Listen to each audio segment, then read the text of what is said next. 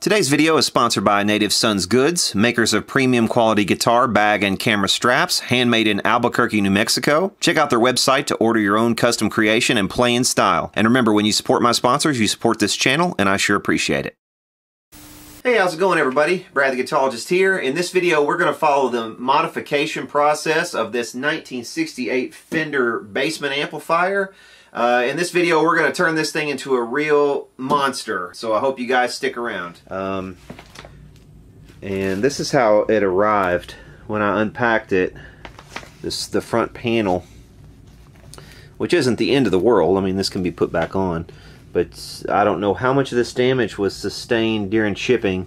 Um, but it looks to me like it's had some issues. It looks like maybe someone pulled the old logo off of it. I don't know. Looks like maybe they did that. They pulled the old logo off at one point and just ripped the whole back side through. I don't know. I mean, this could be this could be rebuilt. You could just take this trim off of here, um, the strip edge trim, and the cloth, and you could put it on another piece of board, and probably, you know, probably fix that fairly easily. You could probably also order it online, order a new piece.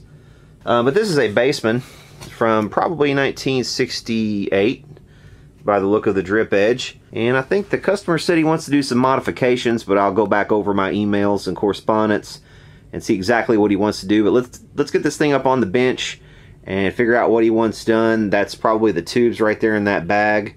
So we'll get the tubes out and see if they survive the trip and see what the customer wants done. Okay, so let me read from the email I got to, from the customer. It said, uh, This Fender Bassman silver face is new to me. I ended up with it somewhat unplanned after some late night over enthusiastic bidding on eBay and had it sent directly to you to save shipping fees. So he, he hasn't ever really seen it in person. Uh, he began looking at bass amps because of my last gain mod video and I'll put a link to that down in the description or in a comment or something if you want to go look at that one. One of my more popular videos. And he goes on to say it uh, it was described as having all original caps, so he's, he's sure that it's going to need new capacitors power cord, all that kind of stuff. So it's going to need a complete overhaul. He says basically he just wants it working correctly, and then after that, he says uh, whatever attention I might want to spend on thinking about gain mods is something he'd pay for, and it's my call. Totally dependent on your level of inspiration and time availability. So this is the kind of customer that I like. He's totally flexible. He's pretty much given me free reign to kind of do what I want with this old thing.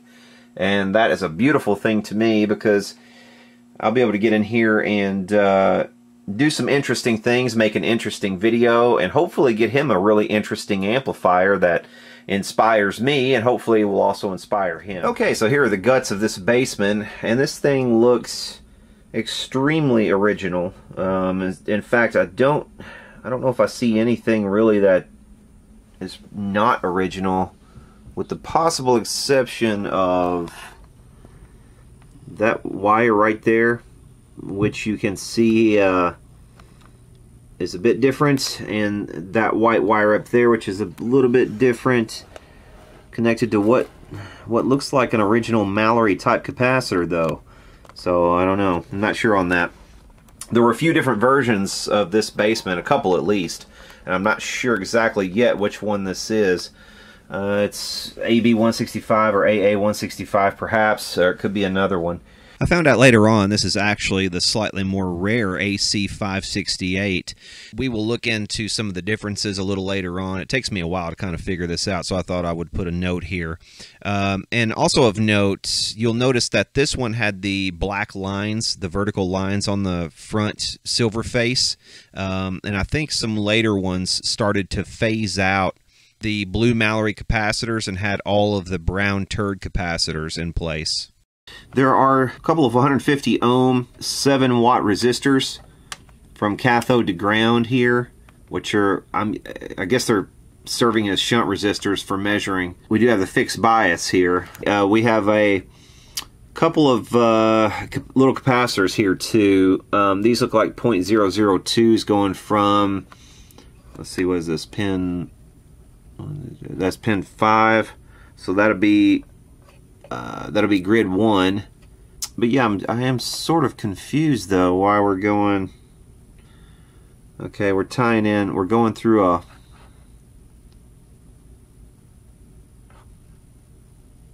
We're coming over here to pin 1, which is a no connection, and then we're going through a 220k resistor, which I guess is serving as a grid stopper over to uh, pin 5, which is the grid.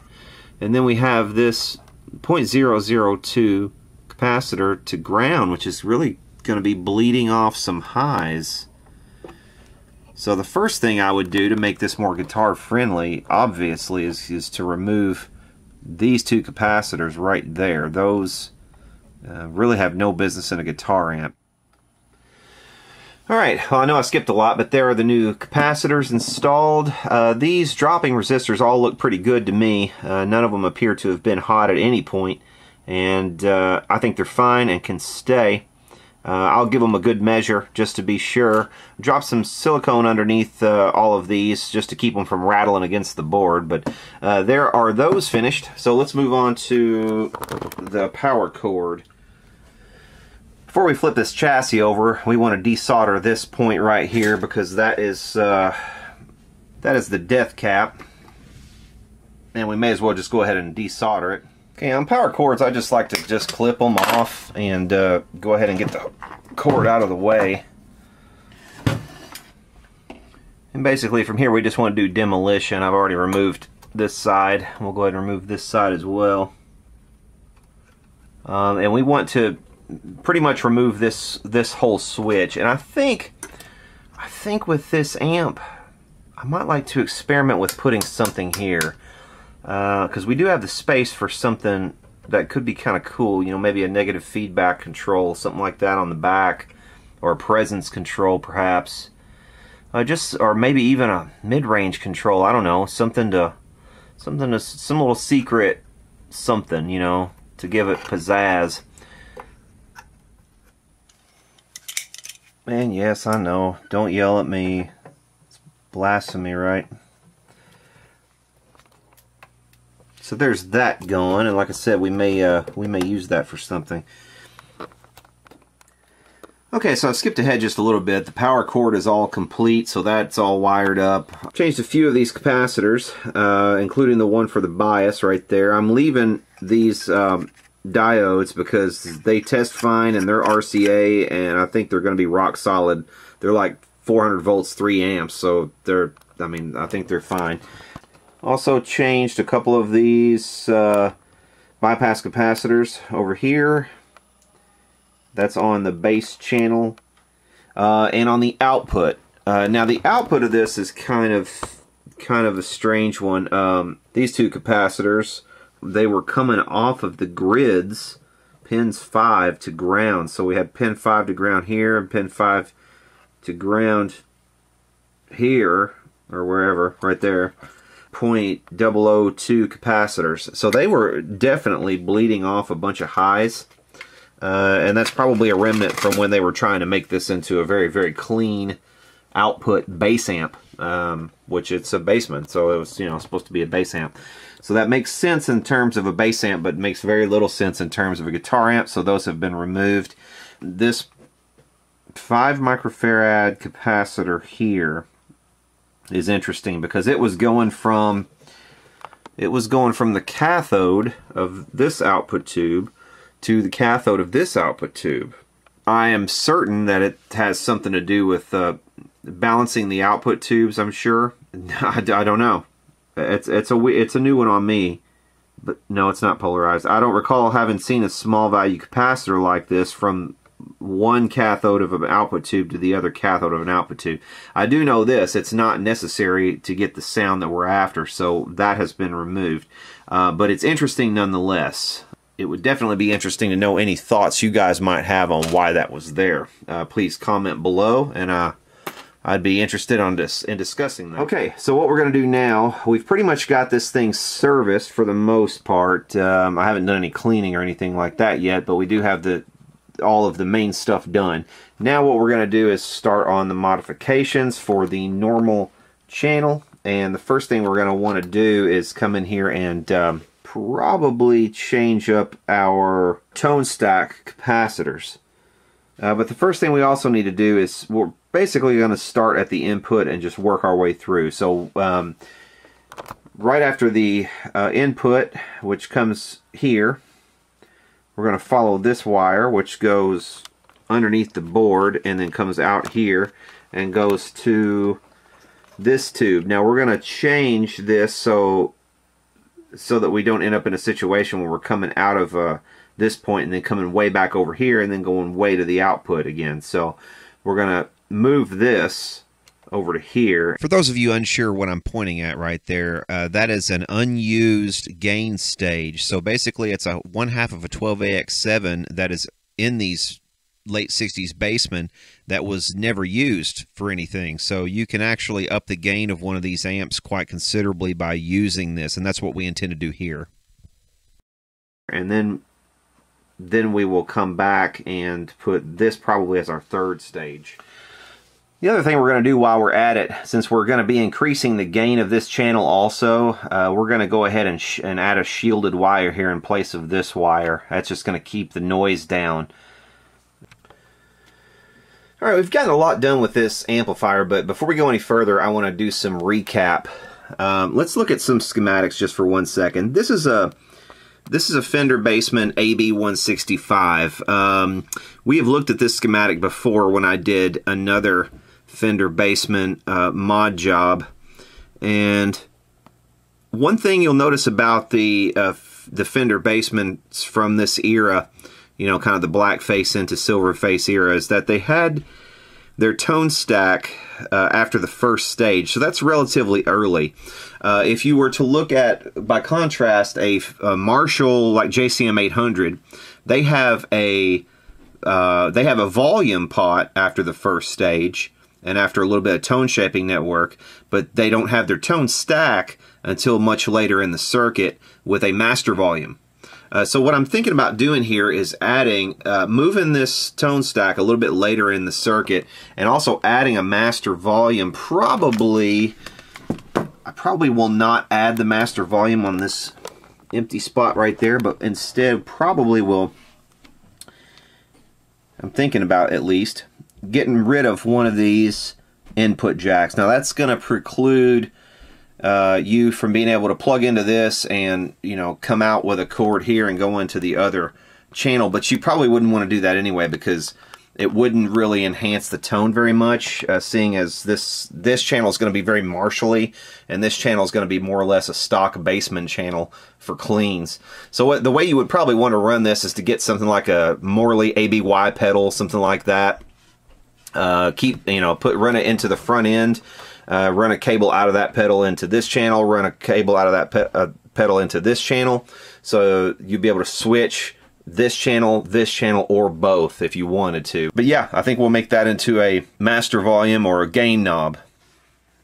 Okay, so, so the plan is to remove this jack right here, so we need to separate it from this other jack because their grounds are actually uh, stuck together. Well, not the grounds, but the uh, the output is stuck together here in the middle and off of that are our, our resistors, our input resistors, and off of this should come the input onto this first stage.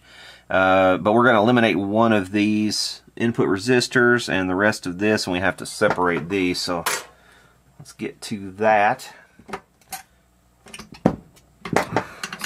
Something like something like that. Oh my god, not pliers! so there's that jack gone. Hang on, let me think about this. We might want to go to like a 47K or maybe even a 33K because that'll be about half of this value.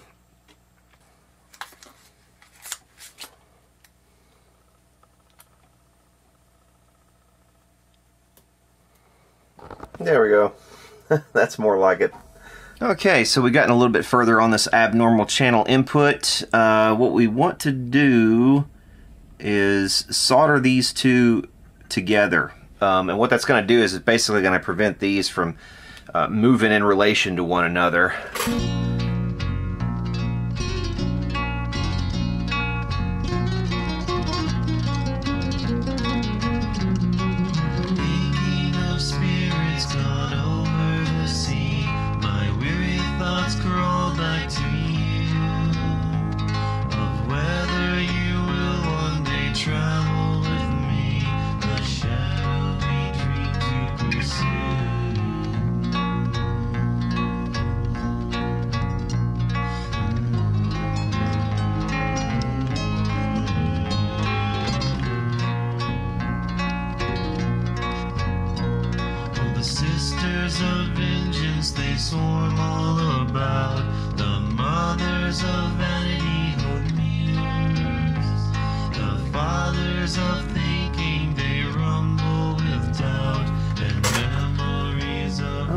So there's our input wire now, and it's a shielded wire. I changed this because we're gonna be adding a lot of gain to this channel, and we want to cut down noise as much as humanly possible, and also because the original wire runs all the way across this board.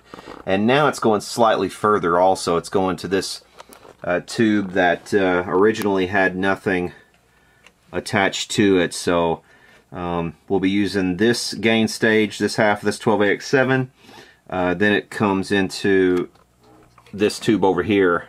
But the thing is, I don't want to drill any extra holes in this, just in case sometime in the future, if somebody ever wants to put this back to stock for whatever reason, they will have the option of being able to do that. I just don't, you know, I don't like to drill in vintage amps uh, if I can keep from it. And as of right now, nothing has been butchered or hacked or anything like that.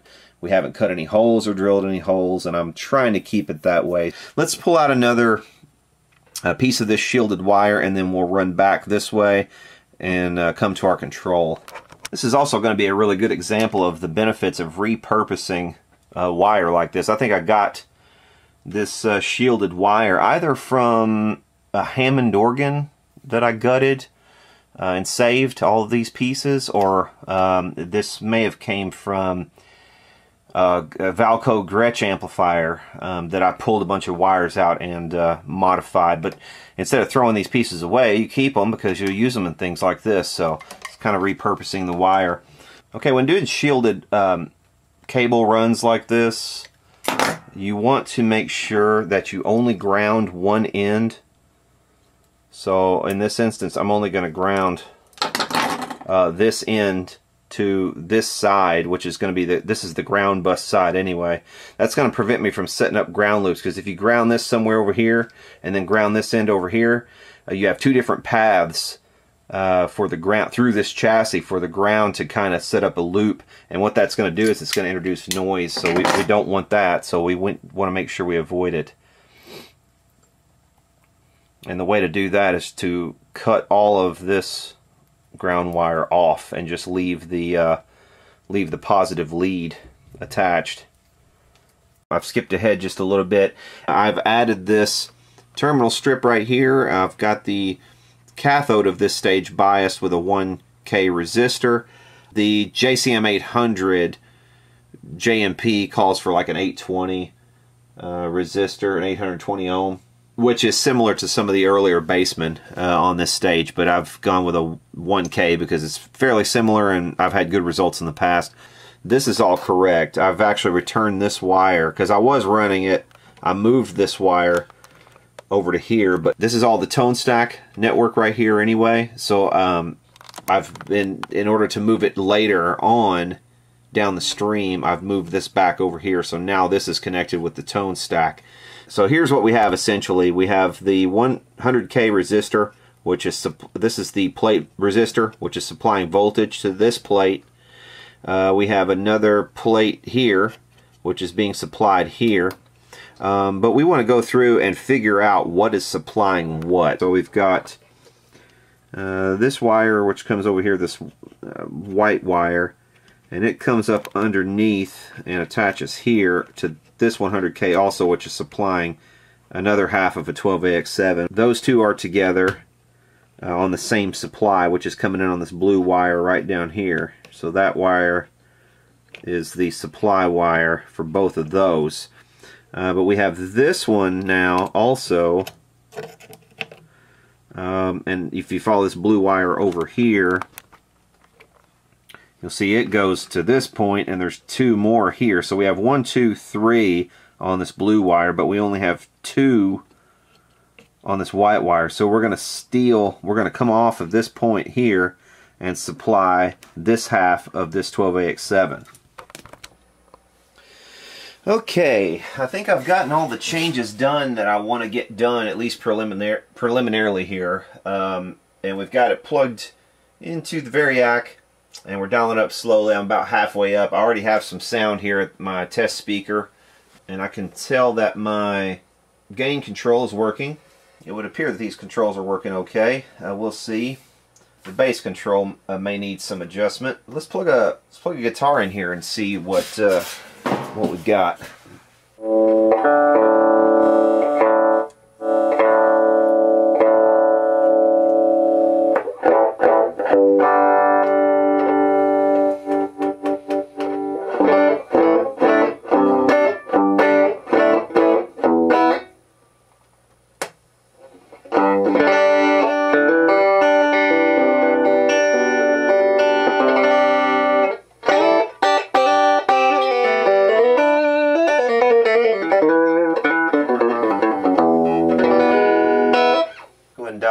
Little bit more.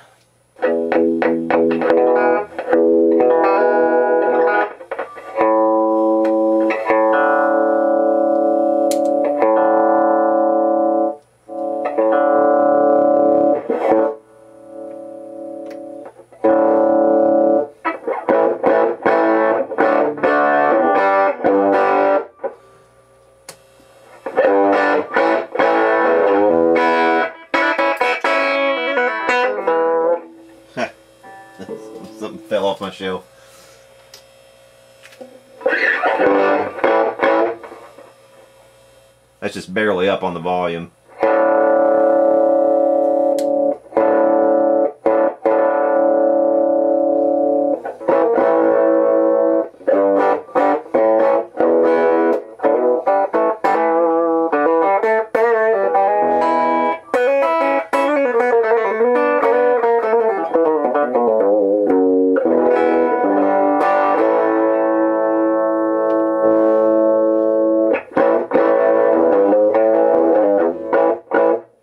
A couple things. I can already tell that it's uh, got a lot of gain so far. I think I need to come into the tone stack and probably change the values of at least a couple of these pots. Uh, also, I would like to change the fixed mid-range resistor um, to express a little bit more mid-range, a little more growl. All right, things are still coming along pretty nicely. One more thing I want to do. This bright switch is fairly useless uh, with this particular tone stack. When you kick it into bright, it's just way too bright. We're going to remove this bright switch, but we're going to turn it into something else, and I'll show you what we're going to do. This wire was here on the wiper of the volume, uh, and it's going to one side of this switch. The other side's going to a, I think it's a 500 picofarad capacitor. And we also removed this wire. This is one mod that you can do without changing anything else if you wanted to. You could change this bright switch to do something else. We're actually going to change it to switch the mid-range. Rather than the, let's see, what was it? I think it's like a 6.7K resistor uh, as the fixed mid-range. I've changed it to a 15K. And then come over here, we want to run a wire from this same point Okay, so we we want to go from this same leg of the bass pot that our uh, fixed mid-range resistor is connected to, and we want to solder that directly to the switch over here. Wait for that to solidify and tuck this all up under here. You'll notice I'm using as much of this old cloth wire as I can. Okay, now what we want to do is we want to come off the other side of the switch with a second 15k resistor. And we're going to take that let's see. Uh, we're going to take that to ground. So right here on this this leg of the volume pot right here should be a good spot.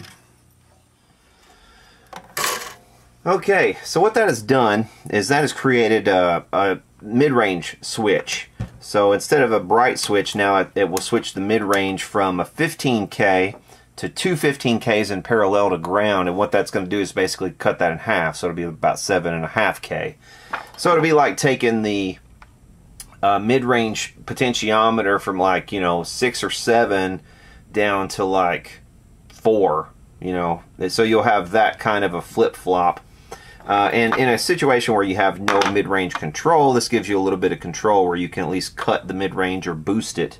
And again, you can do this mod you can do this particular mod on uh, your Bassman amplifier just as it is. You don't have to change anything else, and you can change that fixed resistor. And you can experiment. You can go with like a 10K.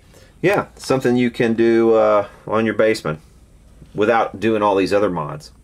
All right, I went ahead and removed this 500 picofarad bright cap that was on the back of the uh, the gain knob that I installed it just was a little bit bright, so I want to experiment with pulling that out of there. We'll see how it goes. I may put it back in too. I'm not really sure yet.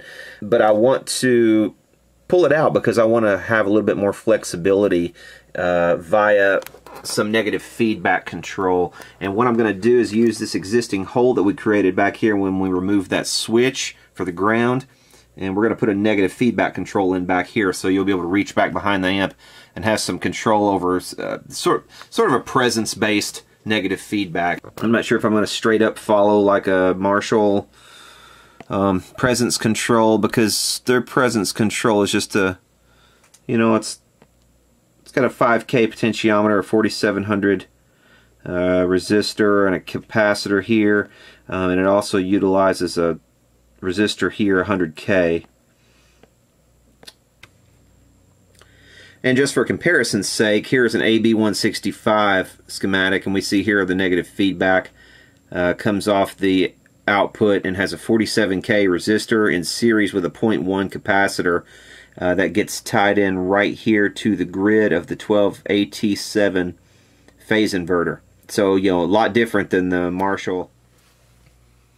So yeah, coming off of pin 7 of our phase inverter tube, if we follow the wire, we've got the 0.1 capacitor right here.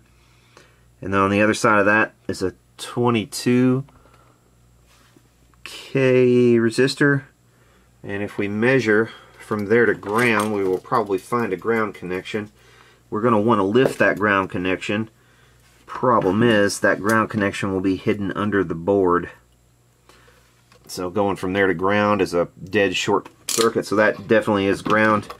So those are the two components that I'm looking for. So I need to find how that is being grounded. I'd say there's probably a wire from here over to here. Okay, let's see if we can see that where this ground connection is going by lifting the board. Hopefully we can get it up far enough to to inspect it. This is probably my least favorite thing to do when messing around with amplifiers is lifting boards. I hate lifting boards probably more than just about anything else. Everybody has their little things that they hate. And that is probably mine. Lifting boards. Never fun. Especially if you have to take a bunch of things off to get it lifted up. Oh gosh, it's never never a good time. So we'll just lift it up as far as we can and uh, that should be enough. So we're going to have to have a mirror It's kind of hard to tell what we're looking at. We're going to have a, a big space here before we get to a connection in the middle, and it's that one. And then we have a wire running this way and over. Uh, where's it going? Got to be going to there. That connection right there, I'll just suck all the solder out and then I'll be able to reach under there and pull that wire.